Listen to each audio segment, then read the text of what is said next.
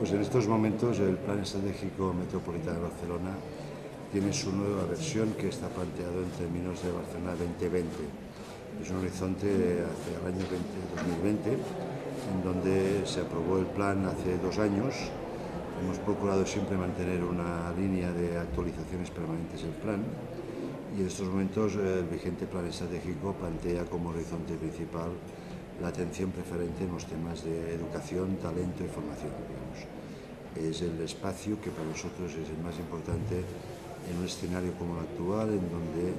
pues, la crisis económica, los problemas de recesión económica, de desempleo, de capacidad para introducir nuevas, nuevas actividades económicas o, o introducir más innovación, todo ello es muy difícil hacerlo sin una base de recursos humanos más preparados, más adecuados,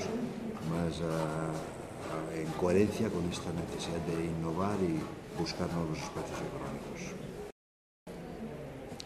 Indudablemente la crisis económica que aparece en España y en Cataluña de una manera importante a partir de hace cuatro años, cuatro o cinco años,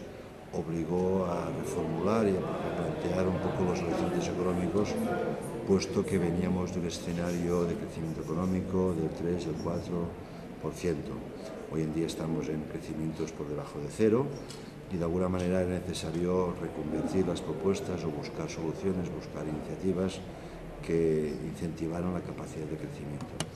Estas iniciativas van en la línea de reconvertir industrias antiguas en industrias más modernas, en reconvertir procesos antiguos de producción industrial en procesos más innovadores, juntamente con la intervención y la coparticipación de los eh, centros de excelencia, de los investigadores, que tenemos allí centros de excelencia importantes,